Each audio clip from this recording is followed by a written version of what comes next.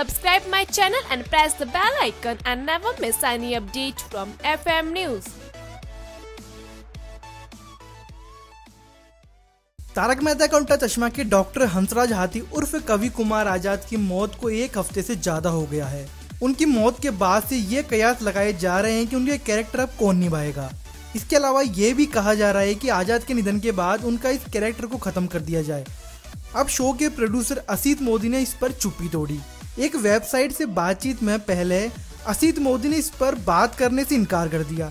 हालाँकि दोबारा पूछने पर मोदी ने बताया कि हमें डॉक्टर हाथी को रिप्लेस करना होगा। असित मोदी के मुताबिक एक्टर की मौत हुई, कैरेक्टर की मौत नहीं। ऐसे में असित मोदी की बातों से लग रहा है कि वह डॉक्टर हाथी का रिप्लेसमेंट ढूंढ रहे हैं। हालाँकि अभी उन्होंने इससे ज़्यादा बात करने से इनकार कर दिया। आपकी जानकारी के लिए बता दें कि तारक मेहता का उल्टा चश्मा साल 2008 से शुरू हुआ था। वहीं कवि कुमार आज़ाद इस शो से साल 2009 से जुड़े थे। आज़ाद से पहले एक्टर निर्मल सोनी ने एक साल तक डॉक्टर हंसराज हाथी का रोल निभाया था।